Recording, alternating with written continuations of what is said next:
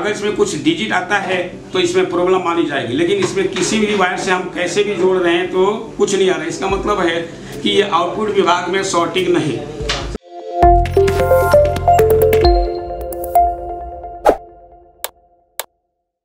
नमस्कार दोस्तों, मैं Mohammad Quddus multi tech institute में आपका बहुत बहुत स्वागत कर रहा हूँ दोस्तों।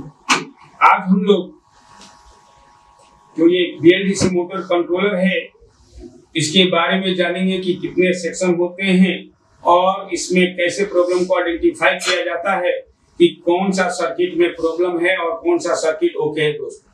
देखिए दोस्तों, हमारा ये प्रैक्टिकल लैब है। हमारे कुछ स्टूडेंट्स जो इस समय पढ़ रहे हैं, वो अपना प्रैक्टिस भी कर रहे हैं। और यहाँ पे बहुत अच्छी तरह से प्रैक्टिकल बेस्ड ट्रेनिंग दी जाती है और सर्किट डायग्राम के बारे में भी या एस्टिमेटिक डायग्राम के बारे में भी समझाया जाता है दोस्तों।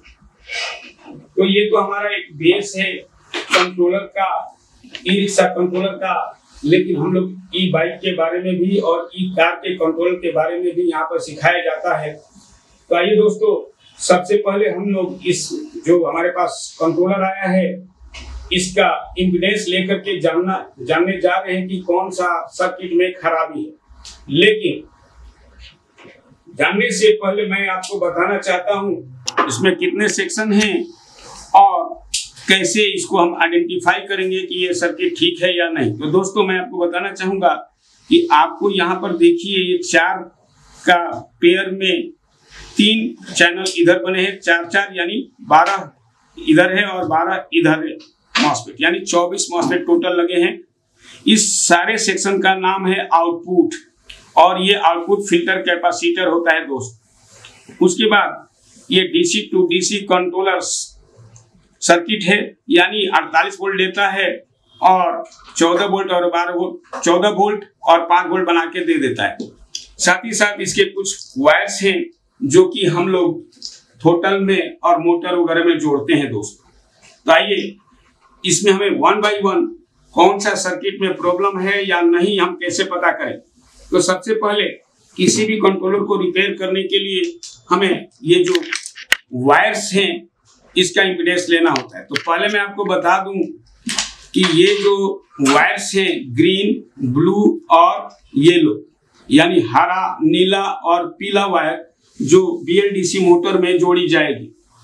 साथ ही साथ ये रेड और ब्लैक जो बैटरी की सप्लाई है। दोस्तों, ये जो सप्लाई दी जाती है, बैटरी से 48 वोल्ट का होता है। तो कई बार कंट्रोल रिपेयर करने से पहले हमें इसका इम्पिडेंस लेना चाहिए। तो आइए, हम लोग सबसे पहले इसका इम्पिडेंस लेने जा रहे इम्पिडेंस लेने के लिए सबसे पहले मल्टीमीटर को बजर के रेंज पे सेलेक्ट कर लेना चाहिए।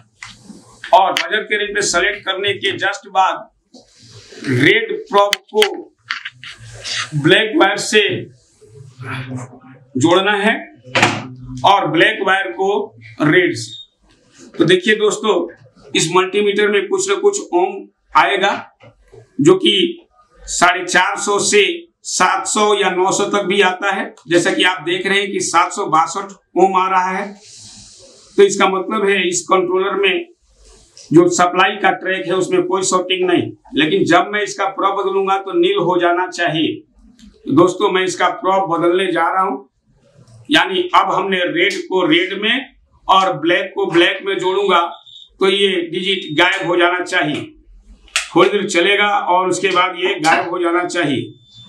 अगर ऐसा हो जाता है तो सप्लाई में कोई शॉर्टिंग नहीं हो, नहीं मानी जाएगी, दोस्तों। साथ ही साथ मैं आपको बताना चाहूँगा, जैसे कि देखिए, अभी ये आउट ऑफ़ रेंज हो गया और ये सर्किट आउट ऑफ़ रेंज होने का मतलब है सप्लाई इज़ ओके साथ ही साथ मैं आपको बताना चाहूँगा कि हमारे चैनल को आप सब्सक्राइब कर सकते हैं, जिससे आपको नए नए मॉडिफिकेशन मिलते जाएँगे और नए नए वीडियो आपके सामने आता जाएगा और लाइक भी कर सकते हैं और कमेंट भी कर सकते हैं दोस्तों। अब हम लोग ये जो तीन वायर मोटर के होते हैं, इसके भी हम इम्पिडेंस लेंगे। और जो इम्पेक्स लेंगे तो इसमें कुछ देर के लिए डिजिट आ सकता है। कुल मिलाकर के अगर ये तीनों वायर में से किसी में भी कुछ डिजिट शो नहीं किया, जैसे कि आपके अभी मल्टीमीटर में शो कर रहा है, इसका मतलब है कि आउटपुट विभाग में भी कोई शॉर्टिंग नहीं है दोस्तों। तो देखते हैं ऐसा होता है या नहीं। तो मैंने इसमें जोड़ दिया। देखिए, नील आ रहा है। और फिर इसमें भी हमें नील आना चाहिए। अगर इसमें कुछ डिजिट आता है तो इसमें प्रॉब्लम मानी जाएगी लेकिन इसमें किसी भी वायर से हम कैसे भी जोड़ रहे हैं तो कुछ नहीं आ रहा इसका मतलब है कि ये आउटपुट विभाग में शॉर्टिंग नहीं। और ये सप्लाई इनपुट विभाग में भी कोई शॉर्टिंग नहीं है दोस्तों। तो ठीक उसी तरह से हम अब दूसरे सब्जेक्ट की तरफ़ चलते हैं और उधर भी जानते हैं कि क्या शॉर्टिंग है या नहीं। तो इसके लिए क्या करना है कि अब ये जो वायर्स हैं, इसके बारे में थोड़ी सी जानकारी दे दूँ कि ये क्या है तो अगर आप गौर से देखें तो ये हमारे पाँच वायर्स आते हैं, जिसमें आपको छह पिन का व्हाइट कनेक्टर है, लेकिन वायर होते हैं पाँच। और ये वायर होता है सेंसर वायर। तो सेंसर वायर में सप्लाई, एक सप्लाई और ग्राउंड होता है, जैसे कि रेड और ब्लैक। आप देख रहे हैं रेड और ब्लैक। ये पाँच वोल्ट सप्लाई दिया जाता है और ज़ीरो वोल्ट दिया जाता है, जो कि पाँच वोल्ट हमें इस सर्किट से DC to DC controller circuit से मिलता है। तो मैं इसका इम्पिडेंस लेने जा रहा हूँ दोस्तों। इसमें जैसे कि मैंने इसमें लिया था रेड को रेड और ब्लैक को ब्लैक में जोड़ूँगा। तो ठीक उसी तरह से देखिए, हमने यहाँ पर रेड और ब्लैक वायर ये अलग अलग ले लिया है, जो कि मैंने आपको सुविधा के लिए मैंने जोड़ा है कि इजी वे में बता सकूँ। तो मैं यहाँ पर जोड़ रहा हूँ रेड पर ब्लैक वायर मल्टीमीटर का ब्लैक वायर और ब्लैक पर रेड वायर तो इसमें कुछ ना कुछ मल्टीमीटर में ओम शो करना चाहिए। इसका मतलब ये है कि इसमें भी कोई शॉर्टिंग नहीं है दोस्तों। फिर अब हमें क्या करना है कि रेड प्रॉप को ब्लैक वायर से जोड़े रखना है और जो ये सेंसर वायर है हमारा तीन ग्रीन ब्लू और येलो तो मैं ग्रीन वाले का इम्पेडेंस ले रहा हूँ। यहाँ पर मैंने एक्सटेंड किया है तार को। इसमें कुछ ना कुछ ओम आना चाहिए।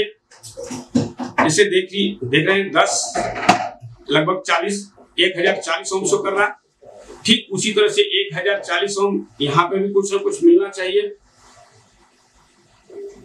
देखिए, लगभग सेम मिल रहा है। और उसके बाद एक और है वायर।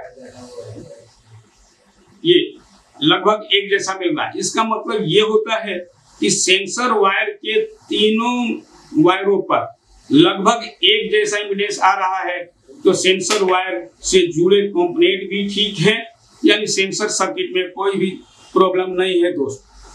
तो दोस्तों, हम लोग फिर अगले वीडियो में आपसे ज़रूर मिलेंगे और इससे आगे की जानकारी आपको दी जाए। तो दोस्तों, ये वीडियो आपको कैसा लगा है कमेंट बॉक्स में ज़रूर हमें बताएँगे और लाइक और सब्सक्राइब भी करना है दोस्तों, क्योंकि आपको नई नई वीडियो की जानकारी मिलेगी। और हम नेक्स्ट वीडियो में फिर हम इसे आगे की तरीके आपको बताएँगे दोस्त। Thank you thank you very much दोस्तों।